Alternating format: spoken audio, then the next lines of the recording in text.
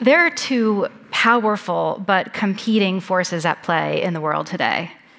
On one hand, the surging wave of companies, investors, and technologies focused on climate change solutions. And on the other hand, the incumbent old guard industries that have powered our homes and built our cities, but that we now know are incompatible with thriving life on our planet. And I think that the work in front of all of us now is to move as many workers, jobs, decisions, dollars, hearts, and hands from one side to the other as quickly and equitably as humanly possible. So, we're all now impacted by the effects of climate change in our own lives. We feel it in our bones. And yet, it feels to me like we all keep doing too little. Sometimes I feel like we are standing by as our home slips away bit by bit, with all of us looking at each other, wondering if someone else is going to do something about it. But we all have a say in the outcome of this story, and I think that we have barely begun to tap the levers of influence that we have at our disposal. Some of them may mean that some of us are a little less comfortable, or that maybe we try something new, or that maybe we take some more risk. But never before has climate change been on our doorsteps and in our homes like this. And when it comes to the magnitude and the urgency of this challenge, there are very few risk free options left. For the last several years, I've worked at the epicenter of climate solutions. I've worked with some of the biggest and most influential corporations in the world, working to scale climate solutions. Things like heat pumps, LED lighting, green steel, regenerative agriculture practices, and more. And that's good and important work. But in the capitalist system in which most of us live, we are wired to focus on what needs to grow, not on what needs to stop.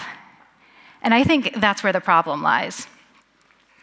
Because in my experience, this focus on growth, this tunnel vision, prevents us too often from seeing the true change that is really required. And in my case, that led me to resigning from a job that I loved, but one in which I was constrained from being too bold or from telling the hard truth that we can't grow our way out of this crisis, that our current approaches are not getting the job done in time, that new tactics are needed and fast. Because there seems to be this unsaid hypothesis that all we need to do is grow climate solutions, and then somehow the bad, the polluting stuff will just magically vanish. Well, guess what? In many sectors, that's just not what's happening. The way I think about it is this Imagine that you're having a party at your house and it's been a lot of fun and everyone's had a great time, but it's getting late and you're ready for everybody to go home.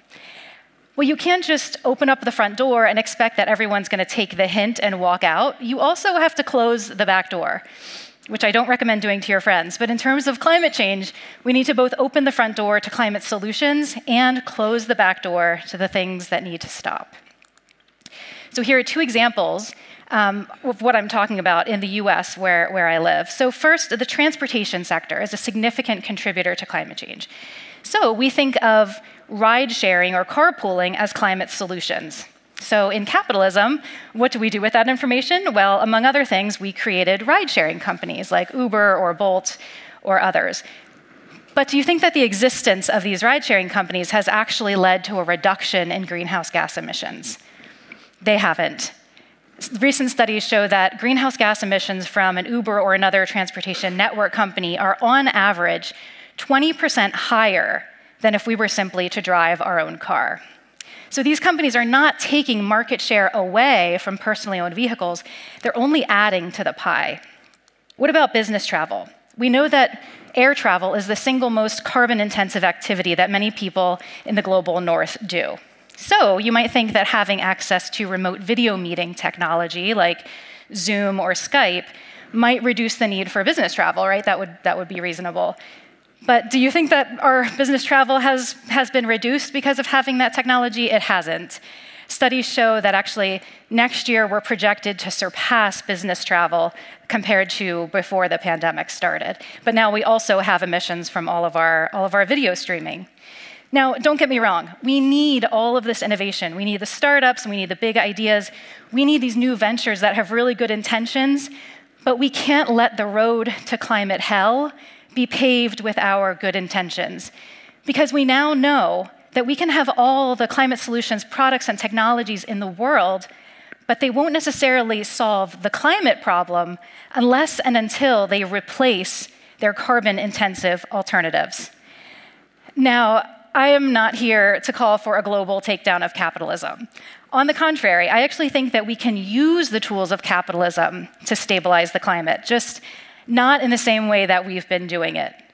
We don't just need more e bike startups, we need fewer personally owned vehicles. We don't just need more carbon removal technology, we need to stop spewing stuff into the atmosphere. We don't just need more renewable energy startups, we need an end to fossil fuels.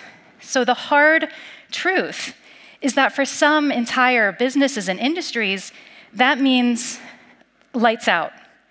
Some businesses and industries need, to make a dramatic, urgent pivot toward the industries of the future and equip and transition their workforce accordingly or prepare to be phased out. Now, you could say, let's let the market sort itself out, right? We don't have time for the market to sort itself out. We can't just wait and hope that climate solutions will win and that things will turn out okay in the end, because time is the most important variable when it comes to climate change. From today until 2030, we need to cut our emissions in half.